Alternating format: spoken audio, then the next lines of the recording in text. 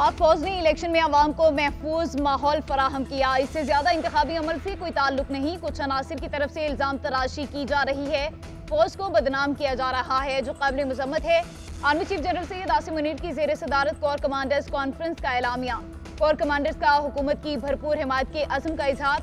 नौमा वाकत के जिम्मेदारों को हर सूरत इंसाफ के कटहरे में लाने का ऐलान। एलामी के मुताबिक वजी अजम के अज़म के मुताबिक नौमे के मनसूबा साजों और सहूलतकारों से सख्ती से निपटा जाएगा।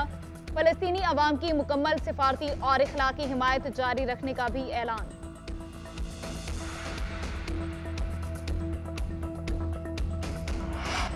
अमेरिका का पाकिस्तान में सोशल मीडिया प्लेटफॉर्म्स की बंदिश पर इजहार तशवीश। तर्जमान अमरीकी महकमे खारिजा। मैथ्यू मिलर का प्रेस ब्रीफिंग में कहना था, पाकिस्तान में एक्स समेत दीगर इंटरनेट प्लेटफॉर्म्स की बंदिश की मजम्मत करते हैं।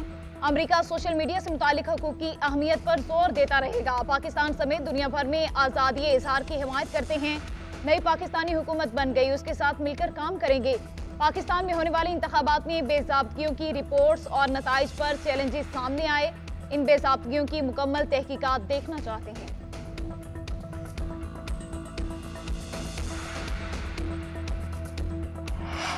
वजी अजम शहबाज शरीफ की जेर सदारत मुआशी सूरत हाल पर इजलास। मुआशी निज़ाम की असलाह और हुकूमती खराज में बड़ी कमी लाने के लिए सिफारिशात तलब।